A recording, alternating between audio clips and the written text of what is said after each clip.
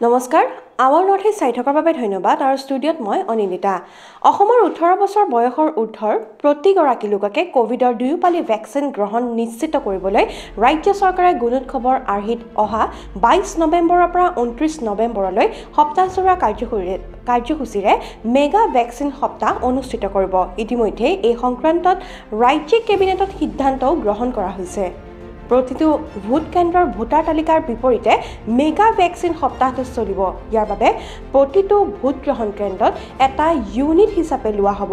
বাইছৰ পৰা ঊনত্ৰিছ নৱেম্বৰলৈ এটাকৈ টীম ঘৰে ঘৰে গৈ পৰিয়ালটোত কোন কোন লোকে ভেকচিন ল'বলৈ বাকী আছে কি কাৰণত ল'ব পৰা নাই সকলো তথ্য সংগ্ৰহ কৰিব।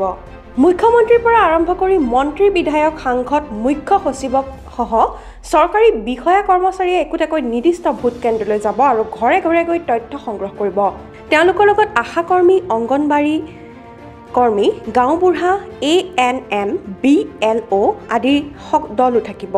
শিক্ষা বিভাগৰ গুণোৎসৱত যিদৰে সকলো জড়িত হৈ পৰিছিল এই মেগা ভেকচিন কাৰ্যসূচীটো সকলো জড়িত হ'ব। অভিযানটোৰ জৰিয়তে ভেকচিন নোলোৱাসকলৰ ভোটগ্ৰহণ কেন্দ্ৰভিত্তিক তালিকা যুগুতোৱাৰ লগতে কি কাৰণত ভেকচিন লোৱা হোৱা নাই সেই সম্পৰ্কত নাম ঠিকনা ফোন নম্বৰসহ বিস্তৃত তথ্য সংগ্ৰহৰ লগতে সেইসকল লোকে কেতিয়ালৈকে ভেকচিন ল'ব পৰা হ'ব সেয়াও স্থিৰ কৰা হ'ব। ব্যৱস্থাটোত ভোটাৰ তালিকাত নাম থকা কোনো ব্যক্তি কৰ্মসূত্ৰে ৰাজ্যৰ বাহিৰত থাকিলে অসম চৰকাৰে তেওঁলোকৰ নাম ফোন নম্বৰ আৰু বৰ্তমানৰ কৰ্মস্থলীৰ ঠিকনা ভাৰত চৰকাৰক অৱগত কৰিব।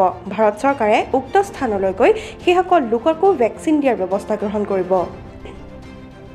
ঠিক সেইদৰে শাৰীৰিক অসুস্থতাৰ পৰিপ্ৰেক্ষিতত ইতিমধ্যে ক'ভিড হৈ যোৱা বাবে গৰ্ভৱতী মহিলা হোৱা বাবে যিসকলে এতিয়াও ভেকচিন ল'ব পৰা নাই সেইসকলৰ নাম ফোন নম্বৰ আদি সন্নিৱিষ্ট কৰি কেতিয়াকৈ তেওঁলোকে ভেকচিন দিয়াৰ সময় হ'ব সেই সম্পৰ্কতো অভিযানতেই নিশ্চিত কৰি সুকীয়া শিতানত উল্লেখ কৰিব। উল্লেখ্য যে ইমান দিনে ভেকচিন প্ৰদানৰ কাম স্বাস্থ্য বিভাগে কৰি আহিছে। নতুন ব্যৱস্থাৰ জৰিয়তে সমগ্ৰ চৰকাৰখনে প্ৰতিজন লোককে ভেকচিন দিয়াৰ দায়িত্ব গ্ৰহণ কৰিব জিলা উপায়ুক্ত আৰু মহকুমাধিপতিসকলে নিৰ্বাচন পৰিচালনাৰ দৰে এই অভিযানো পৰিচালনা কৰিব। News desk report our North East.